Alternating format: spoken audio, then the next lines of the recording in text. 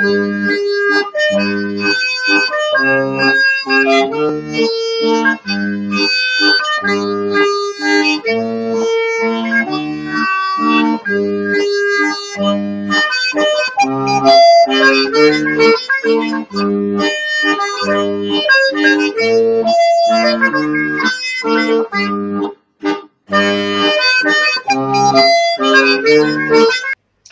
Signore e signori, buonasera. Chi vi parla è Claudio Saltarelli, vi parla da Cassino, dall'Alta Tele di Lavoro.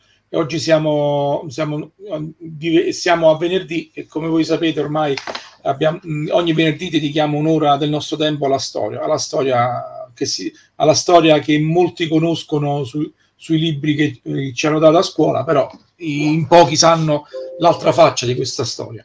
E abbiamo ripreso la, la stagione autunno, inverno e primavera per parlare di storia e dopo aver uh, iniziato con il botto adesso con, um, con la presa della breccia di Porta Pia con Francesco Maurizio Di Giovani, questa sera faremo un'altra grandissima puntata con un altro importante storico di lunga data. Ma prima di poterlo presentare eh, faccio vedere questo piccolissimo video costituzionale a Napoli ebbe vita breve perché soprattutto a causa delle posizioni estremiste di alcuni deputati radicali e repubblicani eh, il tutto fallì nonostante la buona volontà di Ferdinando II eh, in quanto alcuni deputati come Petruccelli della Gattina che scriveva su un giornale ovvero Mondo Nuovo e Mondo Vecchio molto eh, radicale e fortemente antiborbonico e poi di Costabile Carducci che aveva guidato la rivoluzione nel Cilento. Questi deputati magari portarono con sé anche alcuni, eh, all'epoca si diceva facilonosi, eh, vestiti come briganti calabresi, venivano dal Cilento ma anche dalla stessa Calabria, eh, armati addirittura e quindi iniziarono a creare una situazione incandescente in quel di Napoli almeno teoricamente per i cittadini riguardo all'arbitrio del potere assolutista, ma paradossalmente i ceti più umili, almeno nel regno di Napoli, sono fermamente contrari alla Costituzione. Può sembrare un paradosso perché noi oggi riteniamo la Costituzione il bene supremo di noi cittadini che eh, evidentemente ci protegge dagli eccessi eh, della politica, del governo che magari può assumere eh, contorni poco rassicuranti, quindi c'è la carta fondamentale a proteggerci ma eh, noi non dobbiamo dimenticare che siamo nell'Ottocento, che innanzitutto è bene sottolineare che questi contadini non erano così ignoranti e rozzi come ci vengono descritti, magari erano incolti, probabilmente erano analfabeti, ma non erano stupidi. Capivano che la Costituzione andava contro i loro interessi. Perché? Il motivo è semplice, perché la Costituzione eh, dava il diritto di voto, ma questo a Napoli, come in Piemonte, come in Francia, come altrove, dava il diritto di voto e eh, quindi di essere eletti e di votare soltanto a una, a una, piccola percentuale, ovvero alle persone che avevano un censo sufficiente per poter votare e che avevano un'istruzione, magari la laurea, e quindi soltanto, ovviamente è inutile dire che il voto aspettava soltanto agli uomini e non alle donne, eh, che avessero compiuto 21 anni di età. Eh, quindi eh, appartenevano a una, piccola minoranza, quindi giustamente i contadini erano contrari per un motivo molto semplice, loro si fanno le leggi, loro si scelgono, loro si votano e poi decidono per noi, quindi paradossalmente per i ceti più umili era meglio l'assolutismo, come ci saranno dei tumulti anticostituzionali sia nel 48 che nel 60 quando la darà Francesco II suicidandosi, e basti ricordare che le cronache riportano che quando Ferdinando II, dopo aver concesso la Costituzione da Palazzo Reale, fece un giro per Napoli, fino a Via Toledo era acclamato perché lì erano tutti liberali, ma passato Via Toledo, quando si incamminò verso Forcella, nessuno più esultava. Le persone iniziavano a guardarlo perplesso, eh, erano perplessi perché temevano che con la Costituzione per loro, per il popolo minuto, il popolo vascio, come si diceva, la situazione peggiorasse. Quindi c'era questa guerra civile latente e potenziale tra i nobilati, i signorotti locali che spesso e volentieri eh, vestavano il popolo. Ed... Bene, eh, avete visto questo, questo, video del carissimo Vincenzo Amico, editore che spesso spieghiamo attraverso i suoi libri, eh, che ci ha parlato brevemente di un, di, un, di un evento molto importante, quando nel 1848 fu promulgata la Costituzione. Vi ricordo a chi non lo sapesse eh, che eh, primo, la, la, prima nazione, il primo Stato in Italia, il primo regno in Italia a promulgare la Costituzione fu proprio il regno del due, eh, delle due Sicilie, che, ancora, che eh, per volontà di Ferdinando II di Borbone. Tra l'altro poi capiremo eh, che era, era, una, una Costituzione altamente innovativa per l'epoca, e quando fu fatta l'unità d'Italia non fu adottata quella, ma fu adottata quella piemontese. Perché, perché abbiamo fatto passare questo breve video? Perché oggi parleremo dei, dei moti del 1848. Quante volte noi abbiamo, detto, abbiamo sentito è Kenu 48? Perché per, per, far capire quello che era successo. Eh, cioè, quando c'è qualcosa di veramente eh, caotico, oppure rivoluzionario, oppure di, di ammuina, facciamo usiamo i termini a noi cari, si, si fa sempre riferimento al 48, dove scoppiò una, una vera rivoluzione a livello europeo. E con chi ne parliamo? Ne parliamo con un carissimo amico, ospite di lunga data nei nostri, nei nostri programmi e soprattutto uno storico che ormai da più di 30 anni eh, studia, ricerca eh, tutto quello che riguarda il regno delle due Sicilie, soprattutto la parte finale, quello eh, dei Borbone. Buonasera Vincenzo, come stai? Buonasera. Allora, bene, Tutto bene? Tutto bene. Facciamo vedere subito il tuo libro, a me non si vede bene, ma a te sicuramente si vede bene. Vabbè, è lo stesso, quindi. Sì, sì, però a te si vede meglio. E allora, eh, perché abbiamo chiamato Vincenzo? Perché Vincenzo ha scritto un manualetto, si può dire un, una specie di, di, piccola sintesi su quei fatti del 48 di cui se ne parla molto poco, Vincenzo. E tu lo sai meglio di me perché se ne parla, se non per poter esaltare i rivoluzionari che furono considerati degli eroi, se non addirittura martiri, ma non altro che per persone che volevano sovvertire l'ordine precostituito, fare la rivoluzione e quindi si macchiarono di alto tradimento. Però questo libro è un libro, non è un tomo, è un libro eh, di facile lettura, ma soprattutto tu hai, hai fatto un, un, un'operazione molto importante, a parte c'è la spiegazione di tutta la bibliografia, il titolo si, è Successi 48 puntini puntini puntini, che è questo qui, ma soprattutto eh, è un piccolo manuale che ti permette di poter inquadrare quegli avvenimenti in tutte le aree geografiche, non soltanto italiane ma anche europee. E Vincenzo, prima di parlare di questo testo di questo, e del, del, tuo 48, come ti è venuta l'idea di fare questo, questo lavoro? Io ho sempre considerato che era un periodo fondamentale, quello intorno al 1848, e ho notato appunto che poco era, interessava poco agli studiosi, così dire, della materia tutti quanti rivolti o al 99, all'invasione francese, o al risorgimento ai Garibaldi. E c'era questa specie di buco eh, in un momento molto importante invece della storia non solo di Napoli ma europea. Ehm, e quindi io mi sono chiesto eh, prima di tutto se c'era un filo che legava le rivoluzioni precedenti, cioè quelle antifrancesi, e, eh, il, risorgimento. E questo filo passa attraverso il 48. E allora in questo manuale, eh, che ho cercato appunto di rendere completo nel senso di abbracciare un po' tutti gli avvenimenti che ci riguardarono, perché molti studiosi eh, hanno analizzato alcuni eh, fenomeni, alcuni fatti, alcune zone, alcuni mesi di questo 48, ma nessuno li ha messo tutti quanti a confronto, tutti quanti insieme, in modo da avere dei, dei risultati che, probanti sulla situazione. Cioè per, arrivare, per avvicinarci alla verità storica bisogna agire a 360 gradi. Guai guardare soltanto un aspetto, eh, per esempio guardare solo che è successo in Sicilia, dove da allora c'è stata eh, quasi una, eh, una, frattura con Napoli. Bisogna guardare tutto insieme e guardando tutto insieme, guardandolo con occhi eh, critici, guardandolo con nuovi documenti, ecco, qua ci sta in questo libro eh, che, che sembra piccolo, ci sta una grande cosa, ci sta una documentazione mai usata da nessuno che ha affrontato questo argomento, che è stato eh, ecco, non affrontato proprio quando c'è stato l'anniversario nel 2018 di questo 48, il 160 E allora io ho voluto eh, veramente riprendere queste cose per farle girare almeno al di, dentro il mondo cosiddetto identitario, che pure ignorava queste cose. E mi ricordo che quando fondai insieme agli altri il movimento neoborbonico, tutti quanti stavano intorno al risorgimento e a Garibaldi. Già quando si incominciò a parlare del 99 incominciarono a essere sbalorditi perché nessuno si aspettava quelle cose.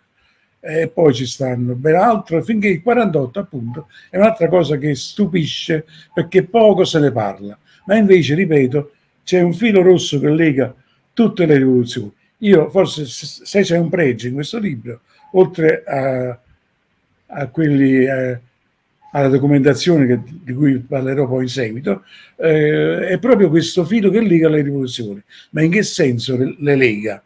Prima perché la matrice è unica, cioè chi le scatena, sempre al di fuori del regno. Secondo, che il popolo non c'entra per niente. Eh, questo è molto importante. Il popolo non c'entra per niente. Qualche volta gli storici anche eh, antiborbonici lo hanno ammesso, altre volte non lo hanno ammesso, poi hanno fatto film, hanno fatto eh, pubblicazioni eh, facendo vedere il popolo disperato che lottava contro il tiranno e la gente ci ha creduto.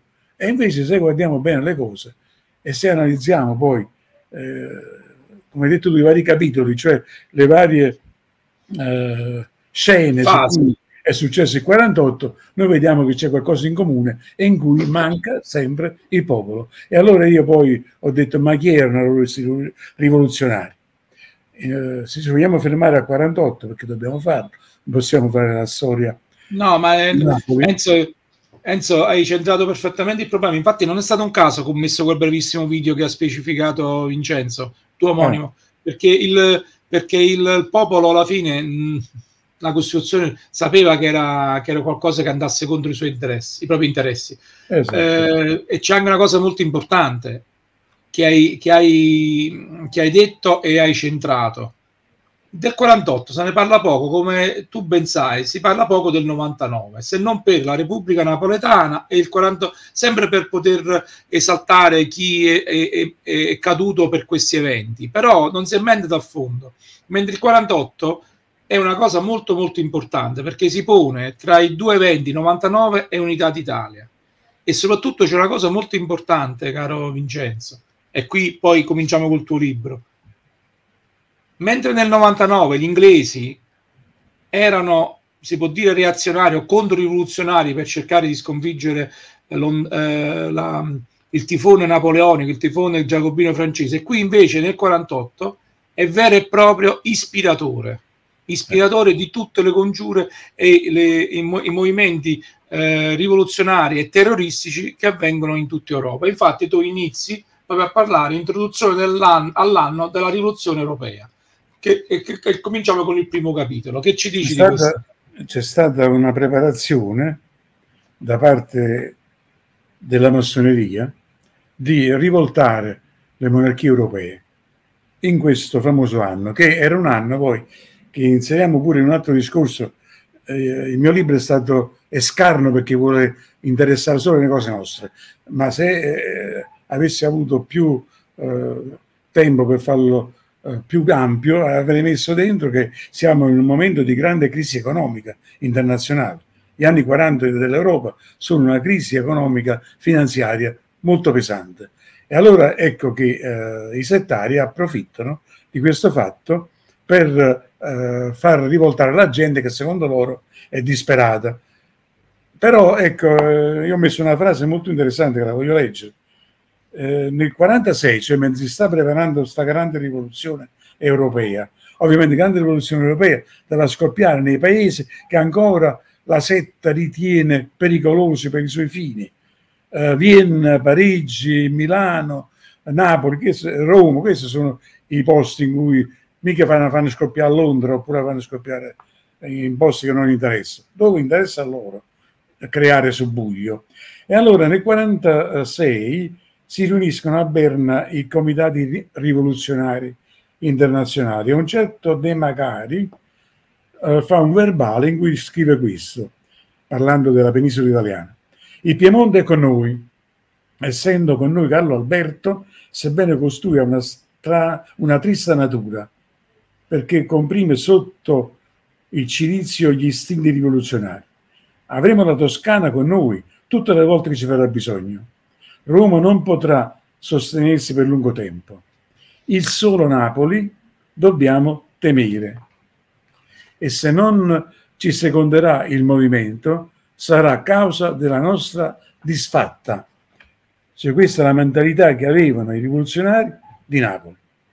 Cioè dovunque, come avete sentito, loro sono sicuri di fare grande successo, ma se, come dice qua, non avremo un appoggio consistente a Napoli, falliremo completamente. E poi questo vedremo è arrivato su fallimento in pieno. Sì, poi ne parleremo alla coda di, questo, di questa, di questa, questa chiacchierata. Eh, io, eh, oltre all'introduzione, incomincio subito con la Sicilia. Sì. No, aspetta, te, te, devo farti i complimenti perché effettivamente hai detto giustamente tu, non è semplice poter parlare del 48 con un manuale, ma bisognerebbe fare alcuni tomi, addirittura uh, eh. vari volumi. Però hai centrato oh, il, la, la, ciliegina, il nucleo, il, la, il nocciolo della situazione.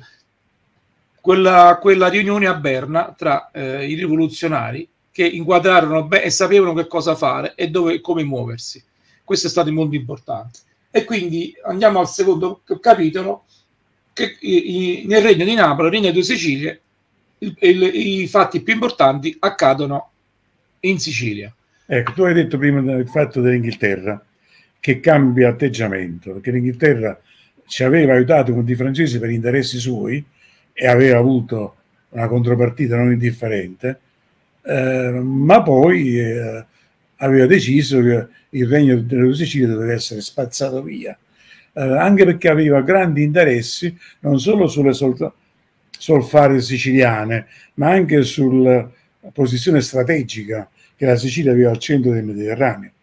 Eh, e quindi loro eh, capiscono che la Sicilia è un posto in cui possono far divampare la rivoluzione. Um, perché, anche perché come ormai gli studi più aggiornati stanno dimostrando, eh, gli inglesi eh, in effetti eh, sapevano che il regno delle due Sicilie eh, era un pericolo, lo sapevano da tempo, era un concorrente pericoloso per loro, per i loro disegni, soprattutto in campo economico e commerciale. E allora eh, io uh, ho, ho, scoperto personalmente che al congresso di Vienna il, il verbalizzante inglese prima spaventa Ferdinando IV perché parla che è difficile rimettere sul trono un re che ha lasciato, eccetera, eccetera. È difficile eh, ignorare eh, le istanze dei murattiani che accampano pretese. Cioè, prima spaventa un po' Ferdinando IV e poi dice: Noi a verbale comunque abbiamo messo che, Fe- che Ferdinando può diventare re delle due Sicilie, però. Cioè, loro hanno messo insieme loro questa unione di Napoli e Palermo in un unico regno, l'hanno messo come fatto compiuto per Ferdinando IV. Finalmente Vince, sai perché scusami Vince, finalmente perché qua si dice sempre che l'errore è di aver no, fatto no, un no. solo regno ed è vero, però fu un'imposizione e fu imposto al re. Fu un'imposizione del, del, congresso di Regna, se no altrimenti esatto. il regno l'avrebbero dato a Gioacchino Murat. Esatto. E, questo è il fatto. E, quindi, e questi sono i fatti. Ma perché fecero questo gli inglesi? Ma pure la Costituzione siciliana fu data per questo. E si capisce subito dopo perché perché il giorno dopo che le due Sicilie sono dichiarate, nel, nel 1816, proprio l'8 novembre, che cosa succede? Che incomincia la propaganda inglese che va a fomentare eh, gli siciliani e dice avete perso la capitale, siete diventati una provincia napoletana e incominciano quindi a cercare adepti e a far girare queste voci contro Napoli. Cioè loro l'avevano fatta nel 1816 già in previsione di una facile conquista della Sicilia. Quindi nel 48 è chiaro che fanno scoppiare i modi in Sicilia. Li fanno scoppiare... No, ma loro avevano, no, ma loro avevano intenzione, loro fecero poi eh, fecero fare la Costituzione siciliana perché pensavano che poi il Parlamento siciliano avesse la forza per dividersi, per contrastare, staccarsi poi e fare un, una, una regione autonoma rispetto al regno. Al regno. Quindi Tutto il, la, la inglese, chiaramente. Però poi eh, Ferdinando IV la tolse eh, l'abolì, non, non, la fece la, no, la, fece tenere in vita per poco tempo e sì, successe sì. quello che dicevi tu e se Però... arriviamo e quindi arriviamo ai, ai moti siciliani che, erano, che partivano da lontano a questo punto. E partivano da lontano e in effetti ma io volevo dire prima un fatto che è legato un po' tutto. Eh, chi erano i rivoluzionari? Eh, perché se ho detto io che il popolo non c'era allora uno può dire ma chi è che faceva la rivoluzione? Eh, allora si sa che è un fatto ormai che chi non conosce eh, la monarchia borbonica sa bene che la monarchia, monarchia borbonica si, ehm, per aiutare la povera gente si inimicava spesso l'aristocrazia, questo si sa. E allora è chiaro che eh, e anche la ricca borghesia. E sono questi eh, che sono per la rivoluzione. Perché? Perché vogliono sostituire il re, vogliono un re più malleabile per i loro sporchi interessi di sfruttamento della povera gente. E allora sono questi. E allora io mi so che ho fatto un discorso uh, così uh, in crescendo. Sono i nobili e sono gli, i, i, i, borghesi ricchi. Eh, ma quanti ne sono? Possono fare male alla rivoluzione? No, non la possono fare. E allora chi fa la rivoluzione? Ma i nobili e questi qua, quando si trovano in cattive acque che non tengono nessuno per far massa, eh, spesso nei paesi più lontani dai centri abitati eh, fanno scappare i galeotti, danno ad essi eh, praticamente eh, la possibilità di essere liberi purché li aiutano a fare delle manifestazioni di piazza. Quindi i primi rivoluzionari dopo i nobili sono i galeotti, ma i nobili non scendevano mai da soli perché sappiamo che questi grandi latifondisti tenevano all'interno dei loro sterminati feudi, che ancora esistevano, degli agglomerati di case, dove da secoli vivevano quei contadini. Questi contadini non potevano negare niente al Signore. Se il Signore diceva andiamo a caccia tutti i giovani, domani mattina venite con me per andare a caccia al cinghiale, tutti i giovani dovevano lasciare la terra e andare appresso al Signore per andare a caccia al cinghiale. Se per caso questo diceva facciamo un'altra cosa, invece di fare la caccia al cinghiale andiamo a fare una manifestazione contro il governo, questi andavano a fare manifestazioni contro il governo. E allora qualche migliaio di nobili eh, scontenti e se ognuno di essi andava ad, a mettere insieme qualche centinaio di contadini, allora capiamo come diventa più numerosa, oltre agli ergastonati sempre pronti, la massa dei rivoluzionari. Però era una rivoluzione fatta contro le forze dell'ordine e contro l'esercito e non bastavano certo i contadini comandati a forza a fare la rivoluzione. E allora che cosa eh, questa è a conoscenza dei rivoluzionari internazionali, essi avevano fatto una cosa che oggi conosciamo bene e perciò l'ho scritto proprio così qua dentro. I rivoluzionari del 48 sono, sono i black bloc dell'Ottocento. Noi sappiamo benissimo chi sono i black bloc, li abbiamo visti a Genova qualche anno fa, ma stanno dappertutto quando si tratta di fare una grossa manifestazione contro le istituzioni.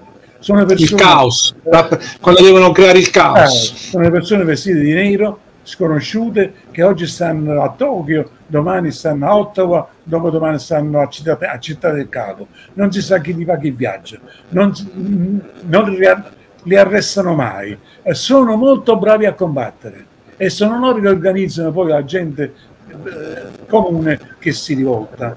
Ebbene, i black bloc non sono un'invenzione del XXI secolo, sono un'invenzione dell'Ottocento, perché già allora avevano dei campi di addestramento di mercenari rivoluzionari e li mandavano dove doveva scoppiare la rivoluzione. Allora questo mo cambia completamente le carte in tavola, perché queste migliaia di contadini che dovevano obbedire ciecamente al barone, diciamo pure così, venivano supportati da centinaia di black bloc internazionali molto bravi nella guerra e che eh, erano stati spediti in posti aperti che non avevano un grande filtro come le due Sicilie, che erano posti liberali al massimo, in senso buono la parola.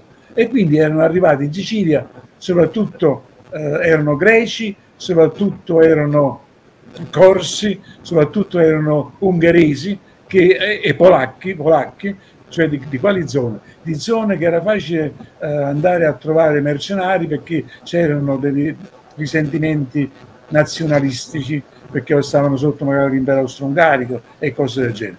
E quindi questi qua invadono eh, la Sicilia, eh, danno forza a, ai, a quelli che gli aristocratici avevano comandato e che in Sicilia è molto chiaro sono i picciotti, si chiamano così, i picciotti nascono proprio così, con delle persone armate che nei feudi dei baroni siciliani sono comandati a fare alcune azioni contro il governo di Napoli. E quindi questi qua sono poi comandati da questi stranieri che arrivano e che riescono in poco tempo, ma con una sequenza di avvenimenti che non è il caso di vedere qua, con un, un clamoroso ehm, esautoramento delle istituzioni borboniche, perché eh, non ci dimentichiamo che Napoli tiene un difetto, ehm, un peccato originale molto forte, avvenuto dopo le invasioni francesi, cioè il fatto che Ferdinando IV aveva unito l'esercito eh, siciliano e, e, napoletano che era andato con lui in Sicilia e l'esercito murattiano che era rimasto sul continente. Questo è stato è un gravissimo errore che fece Ferdinando IV. Perché, la politica dell'amalgama. Ecco, dell'amalgama. Non era possibile perché questi si erano formati nella Nunziatella in cui circolavano le idee rivoluzionarie al massimo. Non andò mai a, a ripulire la Nunziatella, il re, ma, fece, ma continuò a avere i, i comandanti eh, murattiani che insegnavano e mettevano in testa agli, agli giovani ufficiali idee eh, sovversive. E allora questo Comun- fatto qua porta che tranquillamente i peggiori li mandano in Sicilia, Di Maio è il luogotenente della Sicilia, che è uno dei peggiori murattiani e che quando è il momento risponde all'appello e fa in modo, con una strana somiglianza con Lanza nel 1860, che non si combatta a Palermo, che un'intera armata venga disarmata, se ne vada da Napoli e lasci la città di Palermo in mano ai rivoluzionari cioè i reggi che avevano la forza per schiacciare la rivoluzione, anche perché, ripeto, i siciliani non erano per niente favorevoli a tutto questo, i siciliani comuni, noi i picciotti. E ora vi dico, uh, sì, Vincenzo. Tengo molto perché c'è una documentazione speciale qua dentro. Uh, ho trovato, grazie a un amico di Agrigento, che tiene una moglie inglese, uh, la quale eh, sapeva che era stato scritto un diario dal console inglese eh, che si chiamava Wilkinson. Eh, William, stava, Dick, Will, William Dickinson. Wilkinson, che stava apparendo in quel periodo. Il console inglese, ovviamente, sempre pronto, era Guardate che si verificano le stesse cose del 60. Quando i soldati reggi vogliono resistere, il console inglese va dal uh, viceré, dal luogotenente e dice no, bisogna uh, rispettare le parti, bisogna evitare spargimenti di sangue. Cioè già comandano loro gli inglesi tutto quello che succede. E allora loro tenevano pure un diario per controllare che succedeva giorno per giorno. E questo console mandava questo diario. Sul diario erano parole perse. Invece una ricercatrice siciliana una, una ventina di anni fa. È riuscita a prendere questo diario scritto in inglese eh, in calligrafia pessima eh, è riuscita a portarlo in italiano. Eh, io ce l'ho questo libro raro che uscì in Sicilia che questo amico mio mi ha procurato Uh, e ci sono delle pagine con le fotografie dei manoscritti, è allucinante andare a decifrare inglese antiquato scritto pure male. Comunque questo ha avuto il coraggio di farlo e l'ha fatto. E che ne viene fuori da qua? E questo ogni giorno fa il diario, addirittura incomincia con le previsioni del tempo. Uh, qui a Palermo il tè oggi fa caldo, oggi è successo questo. E in uh, moltissime pagine continua a ripetere lo stesso refrain Qua i siciliani non vogliono niente a, a, a vedere, non vogliono niente a, a, che fare con la rivoluzione. Sono eh, i mercenari stranieri che tengono su la rivoluzione. I siciliani, se potessero, li caccerebbero immediatamente a calci e stanno rimpiangendo i soldati del re di Napoli. Questo sono, eh, e non per un giorno, per tutto il periodo di quasi un anno e più in cui stette la Sicilia. Infatti, infatti, infatti Vincenzo, il, che il popolo, pure quello siciliano, non partecipò. Perché qualcuno dice sì a Napoli fecero delle cose ma in Sicilia non no no. per niente, per niente. Enzo il fatto è che loro presero la, la Sicilia la presero bene la controllarono bene, ma non lo potevi fare senza l'apporto straniero e soprattutto quell'inglese che aveva mandato il fiorfiore degli ufficiali e il fiorfiore dei rivoluzionari a controllare l'isola. Mi sembra di avere di, di, che tu chiami black block, ma si possono anche con, chiamare i contractor di oggi, che vediamo sì. spesso che la perfida Albione manda ancora in giro per il mondo a sobillare e a creare guerre per cercare esatto. di, di, di mantenere eh, eh, eh, guarda, vedere il 48 è attualissimo, più del 60 per questo aspetto. Adesso passiamo il re, invece, il re invece continua, per, eh? il re concede parecchie eh, questo è il problema. garanzie ai siciliani per cercare di salvare il salvabile. Ma questa è questo... un'altra cosa che, che, si verifica sempre, quindi è meglio chiarirla. Il problema, il problema questo di non tirare la corda, perché sa che vorrebbe evitare che succeda qualcosa eh, di molto negativo. Mezzo, questo è molto mezzo... pericoloso e, e, inutile questo fatto qua. Secondo me è Enzo... contro il re, perché questi se hanno uno vogliono due, se hanno due eh... vogliono quattro. Il re pensava che dando 10 questi stavano zitti, invece questi continuano ancora. Intanto no, perché... Sicilia ottiene tutto e lo stesso dichiara decaduto Ferdinando II. Ma loro, loro il re non, non comprese non che questi non, non comprese che questa era una visione, era un'ideologia, una visione che aveva i suoi obiettivi e che aveva anche di, che era partita già dalla guerra di, della pace di Vestalia, poi nata col, con l'illuminismo, ma soprattutto poi decollata col gioco. Era una visione ben precisa, la neoborghesia, il nuovo capitale, la massoneria voleva il potere assoluto e quindi dovevano abbattere tutte quelle, che, tut, tutte quelle figure che erano ad ostacolo per, loro, per la loro visione e per il loro progetto. Comunque adesso passiamo al capitolo di Napoli. Qui eh, proprio, Napoli. Cito, cito proprio il tuo titolo. Il 48 a Napoli e nel regno Citrafaro. E il regno Citrafaro perché eh, il Cilento soprattutto, che apparteneva al Principato Citra di Salerno, eh, era un posto adatto per, come la Sicilia abbiamo visto era adatta per certe cose, così diciamo nell'odierna Campania, il posto adatto era il Cilento. Perché? Perché è un posto montagnoso eh, in cui già, ancora oggi è difficile camminare per le strade interne, che allora si usavano soprattutto eh, le strade marittime per collegare i vari posti.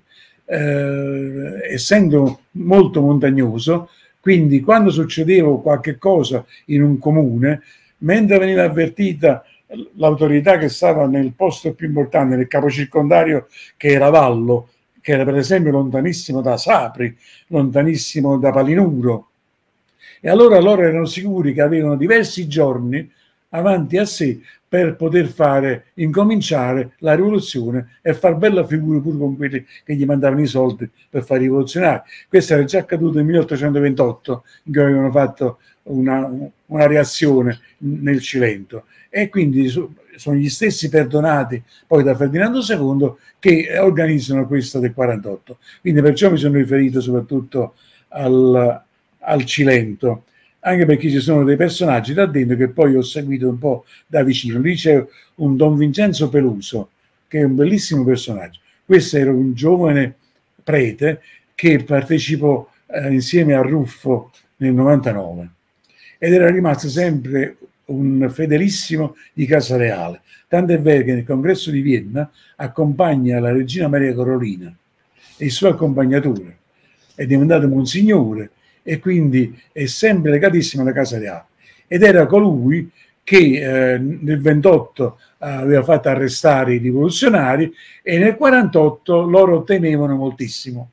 C'è un, c'è un rivoluzionario che si chiama Costabile Carducci, che io ho ricordato proprio, proprio cilentano, eh, che già nel 28 si era messo in evidenza, il, eh, che era di origine toscana, il nome lo spiega, ma che era nato qui e che praticamente era il referente eh, dei baroni anche locali per far scoppiare i moti. E questo Stabile Carducci eh, l'ho seguito perché mi ha portato poi a una cosa molto interessante che voglio dire adesso. Lui, quando scoppia la rivoluzione, anticipiamo un poco, eh, viene sconfitto, deve scappare da Napoli, praticamente eh, prima che tutto finisca, lui sbarca a Sapri e cerca di eh, ammazzare Don Vincenzo Peluso perché per lui è, è, un chiodo fisso, è quello che l'ha perseguitato per una vita intera. Allora, trovandosi nel, uh, nel caos nel 48, ecco che tutto stava in, in, in movimento, lui sbarca lì per uccidere eh, Peluso, ma Peluso sta attento e quando li vede sbarcare scopre chi sono e praticamente eh, vengono arrestati questi qua dai gendarmi borbonici. Questo già è stato, ripeto, nel 28 arrestato e graziato. Era uno comunque sempre contro il re di Napoli. Eh, viene ferito nella piccola sparatoria che si è avuto eh, e, Don, e Don Vincenzo Peluso lo fa curare e poi lo dà ai soldati, eh, ai gendarmi, lo fa portare a Sala, a, al carcere circondariale, eh, perché appena sta bene lo fa portare lì per il processo, perché questo era un traditore. Eh, I soldati, durante la strada, sono stufi del, eh, del fatto che i Borboni eh, praticamente andavano a, giustificare tutti, a perdonare tutti. Conoscono chi è questo, questa bestia, nemico del regno di Napoli, lo ammazzano per strada e lo buttano in un burrone. E allora è una cosa che hanno, che hanno ricamato sopra eh, imputando il fatto a Peluso e nel Cilento ancora oggi parlano di un eroe quasi di questo Carducci che assolutamente non lo è. Eh, io ho messo una fotografia nel libro a pagina 58, se la vedete qua, è un anello d'oro. Perché? Perché abbiamo incontrato un, un discendente di Peluso, il quale ci ha raccontato poi, sì, che, che quel fatto che, che in cui c'eri pure tu a Torraca, sì. Quando è venuto Ferdinando II, ecco, in quelle parti, Ferdinando II andò prima a trovare Peluso, che ormai era molto vecchio, e gli andò a portare un suo anello personale per ringraziarlo della fedeltà alla casa borbonica. Sta scritto proprio dentro, io l'ho avuto in mano questo anello, bellissimo, perciò ho fatto, fatto io la fotografia.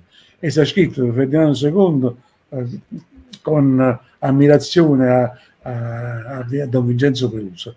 E questo eh, pronipote ce l'ha ancora, quindi ecco perché mi sono un po' eh, soffermato sul Cilento. A Napoli, a Napoli che c'è da dire? A Napoli c'è da dire che eh, venivano, prima di tutto, eh, incominciarono a venire tutti gli studenti, eh, in un periodo in cui l'università era chiusa, eh, incominciarono a venire tutti gli studenti universitari eh, del Regno a Napoli che erano tutti i figli dei baroni, insomma. Quindi già c'erano centinaia e centinaia di giovani che volevano la rivoluzione e facevano manforte con eh, i mercenari che già erano sbarcati. E quindi cominciarono a, a fare quello che sappiamo, chiedevano la Costituzione e il re fu il primo d'Italia a febbraio a concedere questa rivoluzione a malincuore, però la volle concedere sempre con la speranza che si placassero gli animi eh, e anche indisse le elezioni per eh, riunire il primo Parlamento. Il Parlamento. Eh, che cosa succede? Che una volta che è stata data la Costituzione a Napoli, come sapete, si sparge la voce in Italia e anche gli altri fanno la corsa per non essere secondi, per carità, al re di Napoli. E quindi poi segue il Papa, poi segue Carlo Alberto, col famoso statuto che tutti quanti dicono che era la prima Costituzione italiana, e invece è quella di Ferdinando II, come hai detto tu. Però questa Costituzione giurata dal re nella chiesa di San Francesco dei Paoli, subito dopo che è stata giurata, sono state indette le elezioni, praticamente non contenta affatto i rivoluzionari, i quali si riuniscono prima di essere eletti, i famosi candidati si riuniscono a Monte, eh, a Mo, come si chiama? Um, a Monte A Monte Milete. Monte Milete. No, Monte. No, Monte... Dove, dove, dove c'era il Parlamento della Repubblica Napoletana? Monte Oliveto, Monte che, era Oliveto, sì. che, era, che, era, che, era, un monastero che i francesi avevano sì, sì. chiuso. A Monte Oliveto si riuniscono i candidati, sia ben chiaro questo, eh, i candidati deputati e incominciano a dire come possiamo fare per eh, allargare il dissenso contro il re, praticamente. Ma chi c'è la Costituzione e noi che ce ne importa. E allora vanno a fare una provocatoria proposta a Ferdinando II. Guardate che io ho parlato di questi fatti proprio nel Cilento, in faccia a dei, a dei veri e propri sacerdoti del 48 anti-ferdinandei e non hanno saputo che rispondere che lo chiamano spergiuro, no al re, poi vedremo perché. E allora eh, andati, vanno dal re e vanno a dire, sì, la Costituzione l'avete firmata, però noi, prima di tutto, volevano un governo a filo rivoluzionario, il re lo forma. E questo uh, governo porta le istanze dei, dei, dei deputati in pectore, i quali dicono il re deve, deve adesso aggiungere questa postilla alla Costituzione cioè al giuramento fatto aggiungo che giuro di osservare anche le future modifiche che il Parlamento apporterà alla Costituzione. Voi capite che significa questa frase? Cioè, se il Parlamento avesse detto vogliamo la Repubblica, il re se ne doveva andare. Se il Parlamento avesse detto vogliamo fare la guerra alla Spagna, il re doveva fare la guerra alla Spagna. Il re dice io ho giurato una Costituzione, l'ho letta e l'ho giurata come posso mai eh, accettare una clausola di giurare una cosa che allo, all'oscuro? È come se firmasse un assegno in bianco. E si rifiutò di farlo. Immediatamente i mass media d'Europa portarono che il re si era rifiutato di eh, applicare la Costituzione. Ma il re si era rifiutato quell'allargamento assurdo. Era, eh, la Costituzione era già stata accettata. Invece loro volevano un allargamento pericolosissimo perché volevano mettere in difficoltà il re. E adesso, già che avete parlato de, che il popolo era freddo, perché quando detta la Costituzione, chiaramente eh, i camorristi che erano poi i comandati a Napoli, eh, cioè o, gli ergassolani di Napoli liberati, e i mercenari internazionali insieme ai figli eh, di, dei papà dei baroni inneggiarono al re quando uscì dal Palazzo Reale per dare questa parvenza di eh, successo loro. Il re invece altrove non ebbe nessuna accoglienza favorevole, la gente era molto fredda, ma io vi dico una cosa che, succe- che è successa proprio uh, ad aprile, se non vado errato, cioè prima che succedessero i guai del 15 maggio. Ad aprile il re aveva visto che questi erano incontentabili, che la Sicilia diventava sempre più lontana da Napoli e pretendeva qualsiasi cosa, che eh, praticamente Napoli era piena di facce strane, di persone che minacciavano di fare qualcosa di brutto. il re non vuole spargere sangue, il re non vuole eh, nemmeno dare la vinta a queste persone inaffidabili che sono i rivoluzionari. E allora, ecco, non si rivolge al suo governo filo rivoluzionario che gli hanno imposto, fa una cosa di democrazia diretta che io ho riportato, ne fa due, uno all'inizio e uno alla fine della rivoluzione. Se mi ricordo, se, mi, se non mi dimentico di dire la seconda, ricordamela tu. La prima è questa qua. Lui esce dal Palazzo Reale e immediatamente un drappello di soldati gli va appresso. Lui dice no, no, nessuno deve venire appresso a me. E insieme soltanto a un paio di attendenti se ne va verso i quartieri spagnoli che come sappiamo stanno a poche centinaia di metri dalla reggia. Quindi cammina nei quartieri. Ovviamente questi quartieri che pullulavano allora di veri napoletani, non come oggi, eh, appena vedono il re si sparge la voce, sono re, sono re, e che fanno? Scendono tutti quanti e circondano il re. E il re, avanti a centinaia di persone, racconta le sue preoccupazioni. Dice, guardate, Napoli è piena di brutti ceffi. Io penso che da un momento all'altro questi incominciano a sparare. Voi che cosa pensate che io debba fare? Bisogna fare un bagno di sangue alla città o bisogna ancora più, dare più concessioni, magari pure quella assurdità che hanno chiesto loro e cercare di tenere, come si dice, il carro per la discesa. Ebbene, eh, ho riportato la frase in napoletano, perché eh, questi capipopolo dicono, maestà, la rivoluzione la vogliono i signori, non la vogliono i popolani, sono quelli che vestiti di seta, che loro chiamano i setiglie, sono i setiglie che vogliono la rivoluzione. Ma se voi ci date il permesso, noi i setiglie facciamo mappine, cioè noi combatteremo insieme ai soldati e li faremo fuori questa gente che sta qua. Agli un nuovo, un nuovo, sanf- un nuovo sanfedismo, no? Un nuovo sanfedismo. Cioè eh, si va a, a, risollevare lo spirito popolare che dice al re di resistere perché i napoletani sono tutti con lui e non sono questi stranieri o questi figli di papà che non hanno a che fare col popolo napoletano.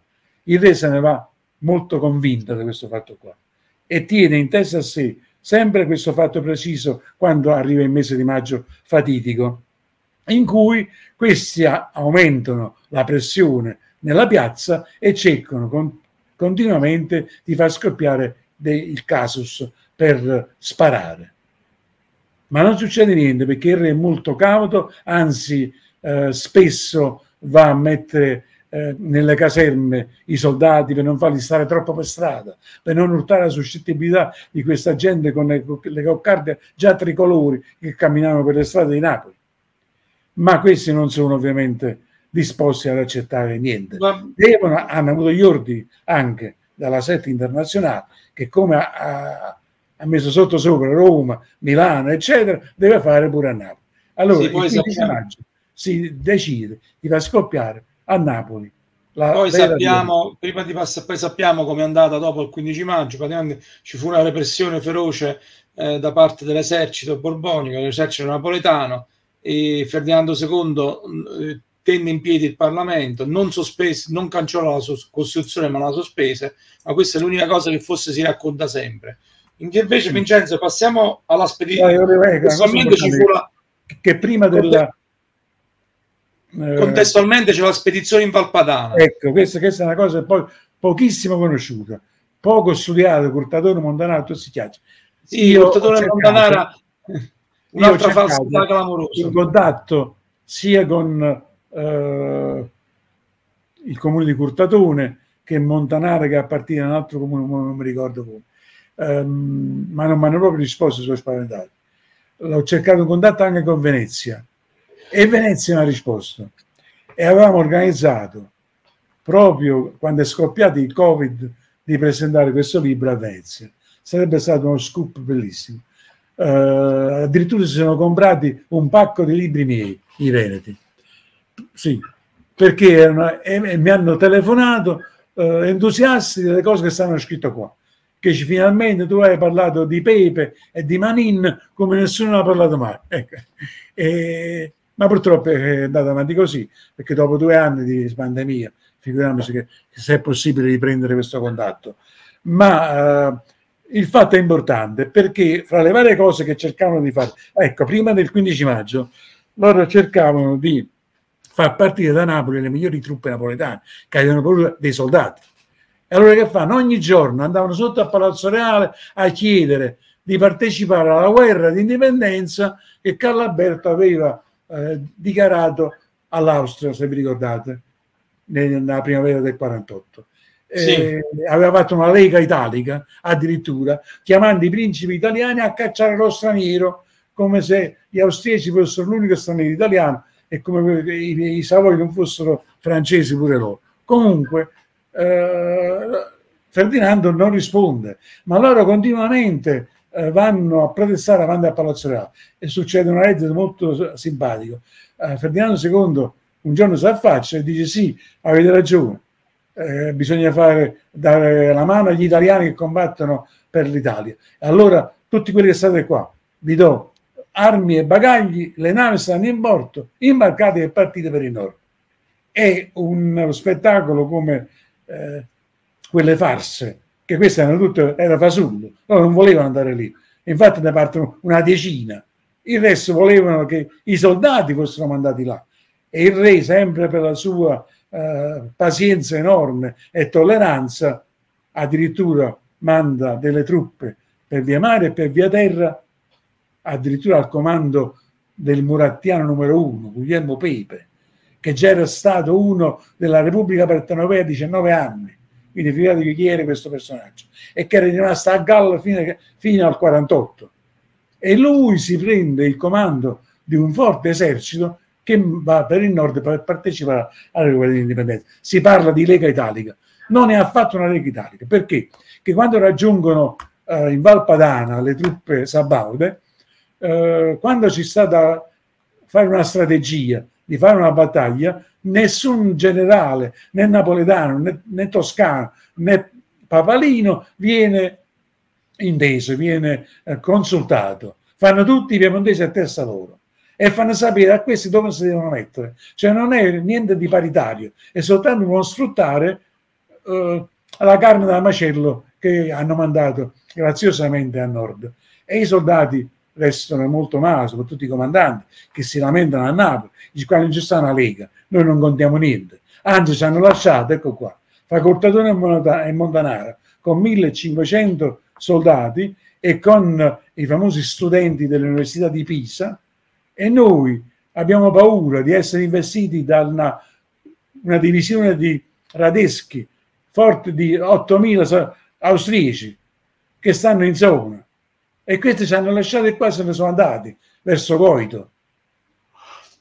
Arriva Radeschi, capisce che l'unico ostacolo per andare addosso a Carlo Alberto sono queste truppe napoletane e fra Curtatone e Montanaro per due giorni fa una battaglia terribile una battaglia terribile in cui i pisani se ne scappano dopo un quarto d'ora. Questo è importante.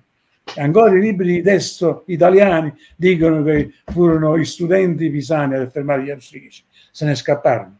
Furono i soldati napoletani, furono soprattutto il sedicesimo, undicesimo Abruzzi, che, che stava in prima linea, che riuscì a fermare Radeschi con le sue truppe super allenate e, e molto numerose numericamente. Figurate che dopo questa resistenza, Callaberto darà una, un premio ai, agli ufficiali napoletani eh, e il popolo li porterà in trionfo. I mantovani, i lombardi li porteranno in trionfo i soldati napoletani perché hanno salvato anche le loro case. Guardate, se Radeschi sfondava avrebbe fatto prigioniero Carlo Alberto e finiva ben diversamente dalla prima guerra di indipendenza. Cioè, sì, ma poi ci fu pure il fatto che ci fu poi eh, ci fu allora poi il re capì che stavano lì soltanto per sguarnire Napoli e quando successe a Napoli il, il, il 48, il caos del 15 maggio, richiama le truppe indietro. Sì, Questo fatto qua, Pepe si porta invece i più no fedeli, i più che si, che erano impauriti dal grande generale, se li porta a difendere la Repubblica di Venezia. E guardate che l'80% dei corpi di spedizione napoletana, che erano quasi 15.000 uomini, se ne torna a piedi nel regno, osteggiato da tutta la popolazione che pensa che stanno tradendo Carlo Alberto.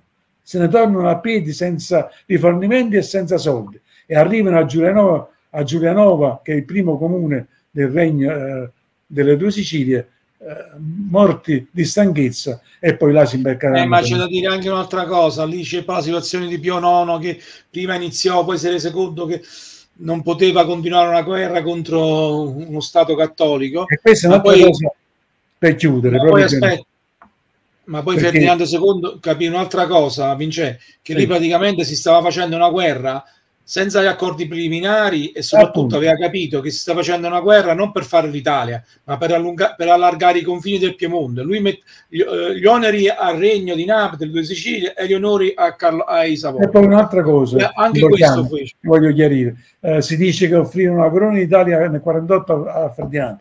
Non è vero.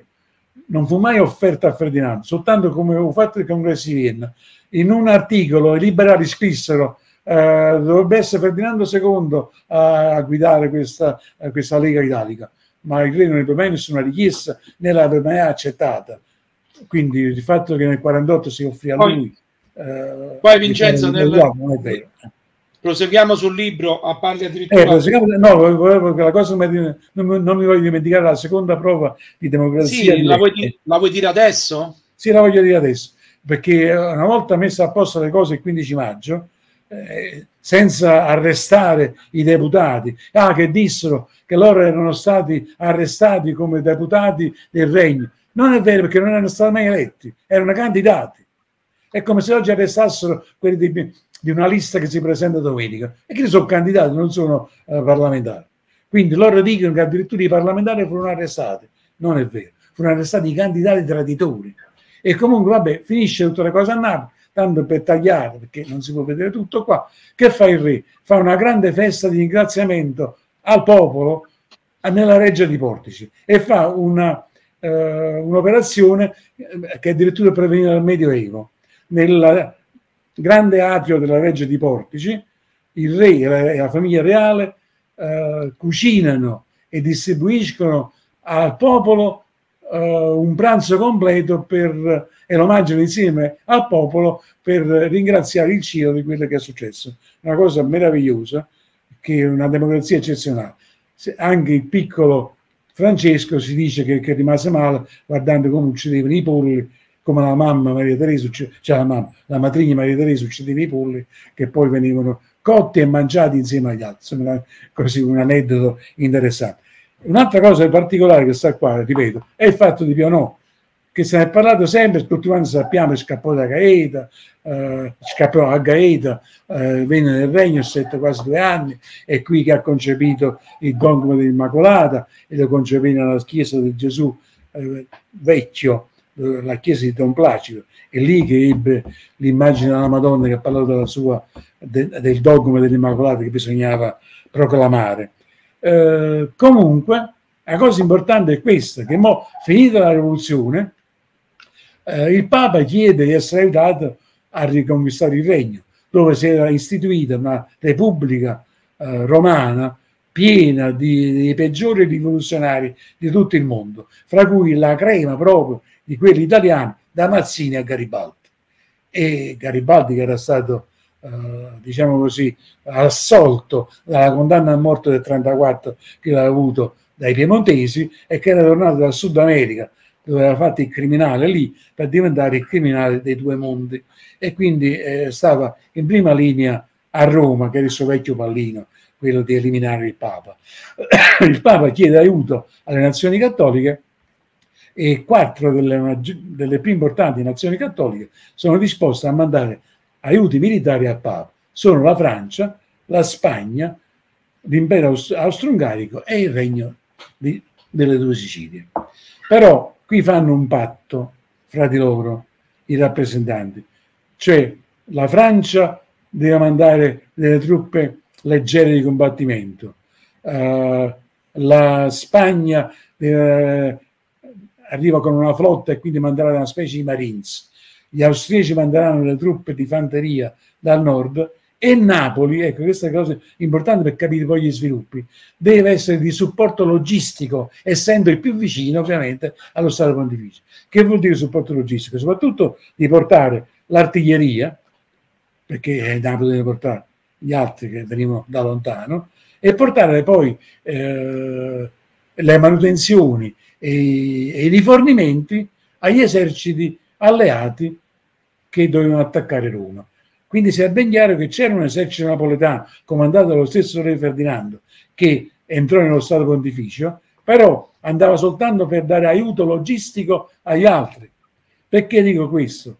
Perché come sapete a Velletri c'è un piccolo contingente di soldati reggi che non era niente affatto eh, adatto a, a, fare combattimento, perché, ripeto, erano quelli che dovevano dare appoggio agli altri, e Garibaldi si trova con un battaglione in zona e pensa di poter liquidare in poco tempo i borbonici.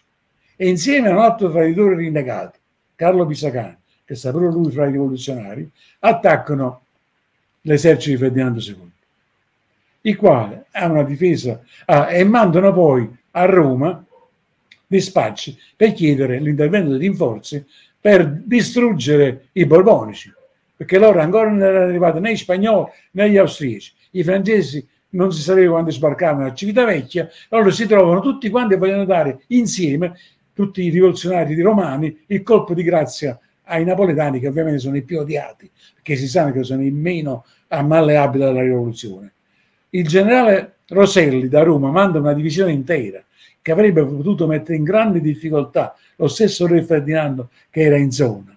Ma l'azione eh, presuntuosa di Garibaldi, che è andata già a finire male, Garibaldi era stato messo in rotta e i borbonici si erano ritirati e avevano chiamato il resto delle truppe.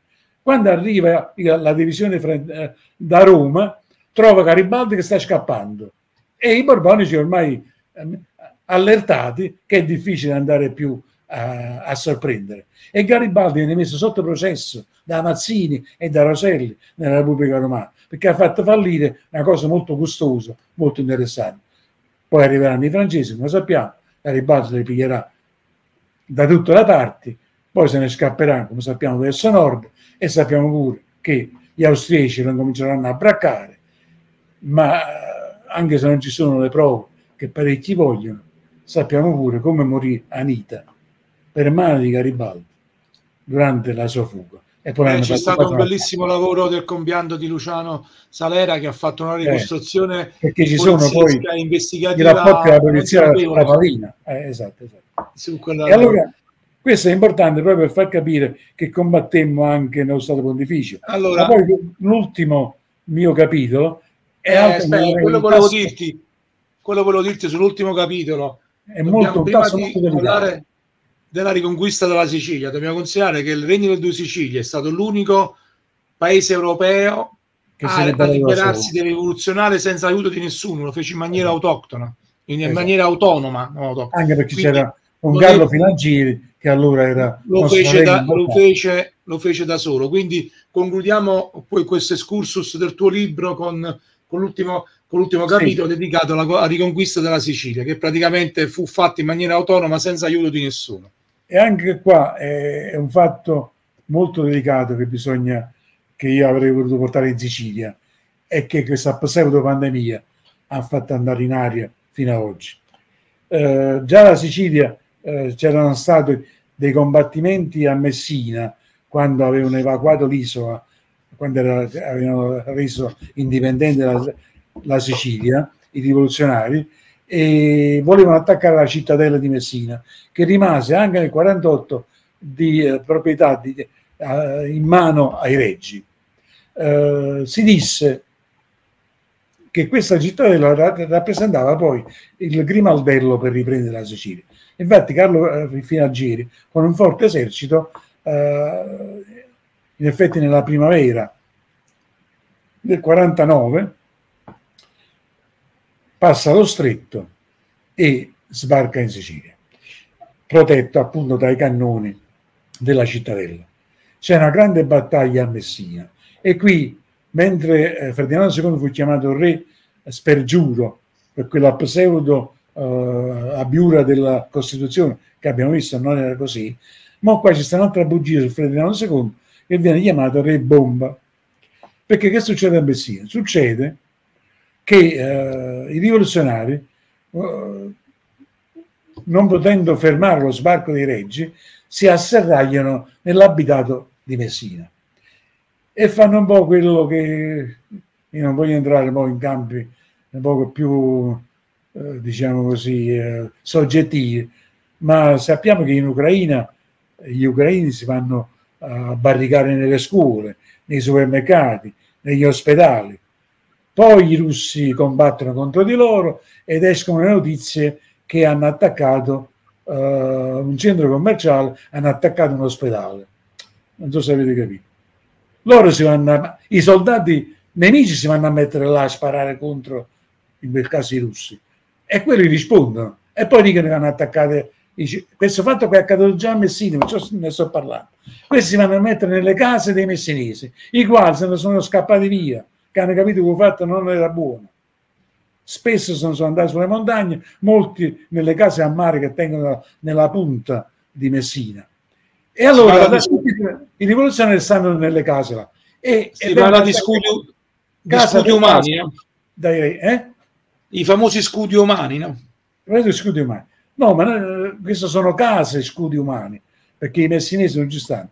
Però combattono contro le case dei messinesi E, e, questi che cosa fanno? Quando vedono che i fatti non vanno bene, devono ritirarsi, minano un palazzo e se ne vanno a quello più dietro e fanno scoppiare in aria il palazzo.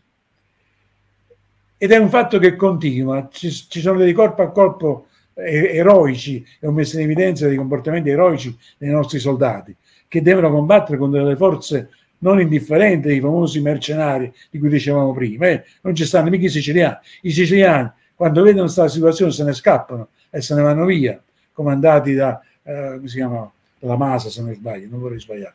E, e mentre gli stranieri, i polacchi e i corsi soprattutto, rimangono lì a combattere in modo feroce contro i reggi, perché sono stati pagati profumatamente.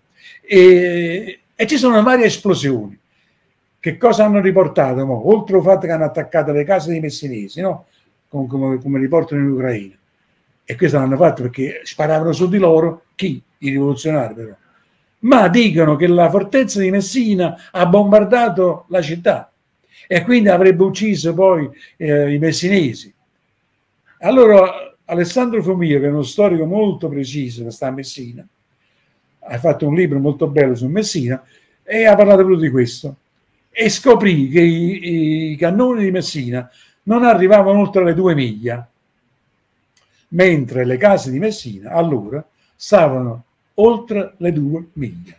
E quindi ha dimostrato che non potevano cannoneggiare Messina. Quindi ha dimostrato che le esplosioni in Messina le avevano fatte i rivoluzionari per farsi eh, le barricate attorno contro i reggi. Ma intanto tutta l'Europa sa che Ferdinando II ha bombardato Messina, tutta l'Europa dice che il re è il re bomba perché spara contro i suoi sudditi. Una bugia. Vincenzo, puoi ripetere, il nome, puoi ripetere il nome dello storico siciliano che hai detto prima? Alessandro Fumia. Fovia. Fumia. Ha fatto un libro benissimo su Messina e sta scoprendo delle cose eccezionali su Messina. Uh, conquistata Messina, uh, tutti quanti, è un grande stratega, guardate, io ho, studiato, ho messo in evidenza anche la strategia di Filancieri, è un personaggio che veramente dispiace che nel 60 abbia fatto il suo voltafaccia, perché allora è veramente eccezionale. Che cosa fa? Lui fa, fa intendere che vuole andare lungo la strada, uh, diciamo, tirrenica, su Palermo e quindi fa fortificare tutta quella zona. E invece che cosa fa? Incomincia ad attaccare la costa perché ci sono delle forze molto consistenti a Catania, le quali si vanno a barricare prima di tutto a Taormina. E ci sta scritto in questo libro un bellissimo episodio che riguarda i nostri soldati, che sono cose da mettere in un film che avrebbe un successo clamoroso. Immaginate Taormina, sappiamo dove sta, sta in alto eh, c'era un'artiglieria molto ben posizionata che poteva bloccare i reggi per molto tempo sulla strada litoranea. Anche perché la flotta non poteva arrivare a sparare fino sopra Taormina. E allora era un grande problema. Filanciere dal primo momento aveva detto noi andremo verso Catania, però non ci andremo per la strada o faremo finta di andare per la strada principale, quella litoranea. Invece manderò moltissime truppe sulle montagne per aggirare la strada costiera. Allora un, un, un plotone, non una compagnia, un plotone di reggi si trova improvvisamente a poche centinaia di metri in linea d'aria da Taormina e vede che ci stanno non più di una dozzina di artiglieri pronti a sparare se arrivano i reggi. E allora questo che cosa fa? Dice facciamo vedere che siamo tanti, attacchiamoli in massa, cominciamo a sparare a tutta forza gridando vivo il re e attacchiamoli, loro pensano che sia arrivato un battaglione intero, vediamo che succede. Cioè il coraggio di rischiare la propria pelle, ma ottiene il risultato. Questi si spaventano quando si, si vedono presi alle spalle dai soldati borbonici e se ne scappano. Vengono presi i, i cannoni e si continua ad andare su Catania, dove purtroppo avverrà poi una battaglia terribile per liberare Catania dagli stranieri. E anche qui ci saranno molti lutti, anche per la popolazione, anche per le case dei civili, perché questi combatteranno casa per casa e faranno delle vittime enormi anche per i nostri soldati. E poi l'ultima cosa eh, strategica importante, Questi aspettavano sempre una flotta che sbarcasse a Palermo e si erano barricati, avevano fatto un'artiglieria costiera perché a Palermo passavano i veri rivoluzionari. Invece che cosa fa Carlo Fiancini? Anche se la via è lunga, da Catania punta su Palermo per l'interno, per Enna. E loro improvvisamente non sanno più dove sta Filancini. Improvvisamente lo scoprono sulle montagne alle spalle di Palermo. Guardate che eh, i, i siciliani quando arrivavano in un piccolo paese, i reggi si armavano alla meglio e le andavano appresso a loro e facevano, facevano i San Felice a Napoli. Eh, questa è una cosa bellissima che succede nel 48 e succederà nel 60. I siciliani insieme ai soldati contro lo straniero invasore. E allora a Palermo non c'è bisogno neanche di combattere. Questi hanno paura quando vedono l'armata di finanzieri sulle montagne attorno a Palermo e praticamente se ne scappano sulle navi inglesi e tolgono l'incomodo e mettono addirittura dei manifesti in comitato provvisorio antirivoluzionario e dice non diamo il benvenuto ai fratelli napoletani che non sono eh, soldati stranieri ma sono i nostri fratelli che ci vengono a liberare. Palermo è piena di questi manifesti e è una cosa molto toccante perché delle coincidenze non sono mai soltanto coincidenze e il 15 maggio del 49 il giorno in cui eh, anche Palermo è liberata dai soldati reggi che entrano osannati dalla folla, come dice il console inglese. Tutti con le bandiere bianche borboniche e tutti a inneggiare ai soldati napoletani che li hanno liberati da una eh, eh, tirannide rivoluzionaria, ma perché non solo per motivi ideologici, per motivi finanziari. Voi non avete idea che cosa eh, sperpera la Sicilia in quei mesi di eh, tirannide rivoluzionaria, che cosa si fa per Ruggero VII e tutti i suoi eh, degni compari e che cosa deve pagare la gente di tasse continuamente per finanziare la rivoluzione. Quindi anche in questo film già visto. sono felice già... che torna. Ecco. È un film già visto del giacobinismo che che eh, per esatto. poter mantenere il suo status quo vessano le popolazioni con quindi questo libro l'hanno pensato e lo ma poi lo vedremo ma poi lo vedremo nel 60 quello, quello che succederà e quello che saccheggeranno prima i garibaldini poi, poi i Savoia insomma. No, perché... eh, Vincenzo andare a concludere si può dire questo e faccio una mia riflessione prima di salutarti è che praticamente nel 48 si sono fatti eh, gli inglesi capirono dove, come dovevano intervenire, che me, eh, accendere una, rivoluzione europea sarebbe stato, era molto complicato per far sì che loro potessero eh, portare avanti propri, i propri obiettivi. E, nel sessa, e capirono che bisognava fare una tappa alla volta. E nel 60 eh, cominciarono, eh, ripartirono dalla Sicilia però in maniera diversa e soprattutto con tanto tanto denaro in più perché la corruzione dilagò in maniera spaventosa. Il fiume di denaro che arrivarono e che arrivò fu, fu veramente incredibile.